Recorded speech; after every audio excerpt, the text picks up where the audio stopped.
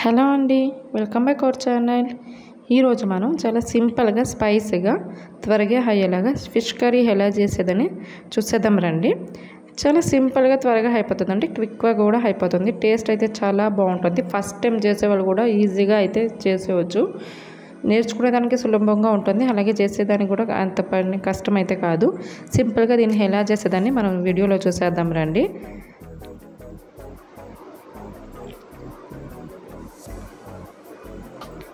ఇప్పుడు మన మసాలా ఐటమ్స్కి ఒక చిన్న జార్లో టూ టేబుల్ స్పూన్ జీలకర్ర హాఫ్ టీ టేబుల్ స్పూన్ మెంతలు అలాగే త్రీ టేబుల్ స్పూన్ ధనియాలు అయితే తీసుకుంటున్నాం. దీన్ని మనం ఫ్రై చేసుకోకుండా మనం అలాగే డైరెక్ట్గా మనం మిక్సీ కొట్టుకోవాల్సి వస్తుందండి. దీని అయితే మనం డైరెక్ట్గానే అప్లై చేయవచ్చు ఫ్రై అయితే అక్కర్లేదు. ఎందుకంటే మనం కర్రీలో వేస్తాం కాబట్టి అది మనకి పచ్చవాసన అనేది కర్రీలోనే వెళ్ళిపోతుంది కాబట్టి మనం దీన్ని అలాగే ఫ్రై ఫ్రై చేయకుండా మిక్సీ కొట్టుకుంటే చాలు. ఎక్కువ నుండంగా కాకుండా ఇలా మిత్తంగా ఉంటే చాలండి. ఇప్పుడు మనం దీన్ని సైడ్లో పెట్టేసి మనం ఒక ఎడపుల్ గిన్నెలో మనం త్రీ టేబుల్ స్పూన్ ఆయిల్ అయితే యాడ్ చేసుకుంటున్నాము. దీంట్లో ఆయిల్ వేడెక్కిన తర్వాత ఆనియన్ పచ్చిమిర్చి అలాగే తెల్లగడ్డ సగం దంచి పెట్టిన తెల్లగడ్డ కూడా మనం వాడుకోవాల్సి వస్తుందండి. తెల్లగడ్డ ప్లస్ అల్లం వెల్లుల్లి పేస్ట్ కూడా రెండు యాడ్ అవుతుంది ఫిష్ కర్రీలో. చాలా అయితే టేస్టీగా చాలా బాగుంటుంది. ఇప్పుడు మనం ఆనియన్స్ తెల్లగడ్డ పచ్చిమిర్చి ఏదైతే వేద్దామో దీన్ని కొద్దిగా లైట్ బ్రౌన్ కలర్ వచ్చేంత వరకు మనం ఫ్రై అయితే చేసుకోవాల్సి వస్తుంది. ఇది ఫ్రై అయిన తర్వాత మనం దీంట్లో టూ టేబుల్ స్పూన్ అల్లం వెల్లుల్లి పేస్ట్ కూడా యాడ్ చేసుకుంటున్నాం. యాడ్ చేసుకున్న తర్వాత మనం దీన్ని కొద్దిసేపు అలా వేపిన తర్వాత దీంట్లో మనం కొద్దిగా కరివేపాకు కూడా యాడ్ చేసుకోవాల్సి వస్తుంది.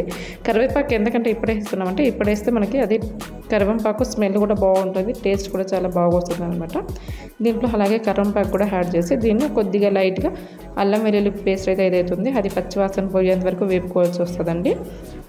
దీనికి నేనైతే ఒక ఫోర్ ఫైవ్ టొమాటో అయితే నేను మిక్సీ కొట్టుకున్నా ప్యూరీ లాగా చేసుకున్నా. టొమాటో ప్యూరీ కూడా యాడ్ చేసుకొని బాగా కలుపుకోవాల్సి వస్తుంది. దీంట్లో మనం three tablespoon chilli powder అలాగే హాఫ్ టీ టేబుల్ స్పూన్ పసుపు అలాగే టూ టేబుల్ స్పూన్ సాల్ట్ కూడా యాడ్ చేసుకుంటున్నా.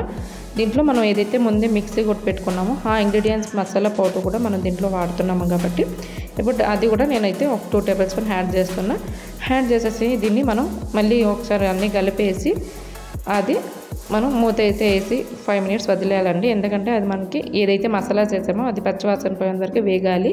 మనం ఇది మూత పెట్టేస్తే మనకి తర్వాత ఇది మనకి సైడ్లో ఆయిల్ వదులుకుంటుందండి ఆయిల్ వదిలే టైంలో మనకి కర్రీ అయితే కుక్ అయిందనమాట దీంట్లో మనం చింతపండు అయితే నేనైతే కొద్దిగా ఒక టూ లెమన్స్ అంత చింతపండు అయితే నేను నానబెట్టానండి. ఆ చింతపండుని బాగా కలిపేసి దాన్ని ఆ చింతపండు వాటర్ అయితే యాడ్ చేసుకోవాలి. ఫిష్ కర్రీకి పుల్లంగా కారంగా ఉంటేనే టేస్ట్ చాలా బాగుంటుంది అనమాట కాబట్టి చింతపండు వాటర్ కూడా యాడ్ చేసుకొని మనం దీన్ని ఏం లేకపోయినా ఒక టెన్ మినిట్స్ ఫిఫ్టీన్ మినిట్స్ అయితే మూత పెట్టేయాలండి. ఎందుకంటే మనకి కర్రీ అనేది కొద్దిగా థిక్నెస్గా ఉప్పు పులుపంగా కారంగా తగలాలంటే మనం ఒక ట్వంటీ మినిట్స్ వదిలేయాలి. ఈ కర్రీ అనేది మనకి ఎక్కువ గ్రేవీ కాకుండా ఎక్కువ వాటర్గా కాకుండా మీడియం సైజులో అయితే ఉండాలండి.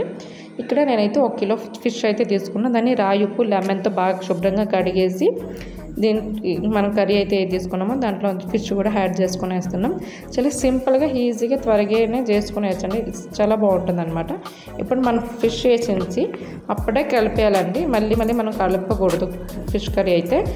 ఫిష్ మొత్తం వేసేసి నేను ఇక్కడ ఒక టూ మినిట్స్ అలా కలిపేసి వదిలేస్తానండి మళ్ళీ మళ్ళీ కలిపితే మనకి ఫిష్ అనేది మనం ఫిష్ ఏదైతే ఉంది అది బాగా ఉడికిన తర్వాత అయితే మనకు అది మెత్తంగా పీస్ అయితే మనకు దొరకదండి మెత్తంగా అయిపోతుంది కాబట్టి మనం ఫిష్ వేసినప్పుడే మనం కొద్దిగా కలిపేసి వదిలేస్తే ఒక టూ మినిట్స్ మూత వేసి వదిలేస్తే మనకి ఫిష్ కర్రీ అనేది త్వరగా ఉడికిపోతుందండి.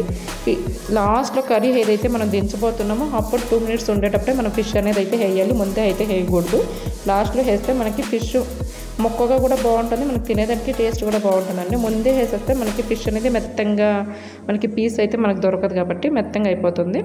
లాస్ట్లో దీంట్లో నేను కొత్తమరి యాడ్ చేసుకొని చాలా సింపుల్ అండ్ ఈజీగా త్వరగానే ఫిష్ కర్రీ ఎలా చేసేదని చూపించేసాను కదండి. మీరు కూడా ట్రై చేసేయండి. మీకు కూడా నచ్చుతుంది.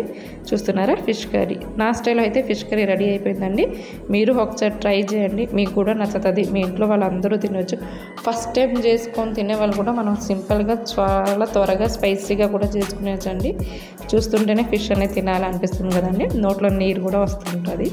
సో ఫిష్ కర్రీ అయితే మనకి రెడీ అయిపోయింది. దీన్ని మనం ఇప్పుడు ఒక ప్లేట్లో సర్వ్ చేసుకునేద్దామండి చూస్తున్నారా? సైడ్లో ఆయిల్ అయితే అయితే వదులుకునిందో అప్పుడు మనకి ఫిష్ అనేది రెడీ అయిపోయింది అనమాట fish curry. Thank you for watching guys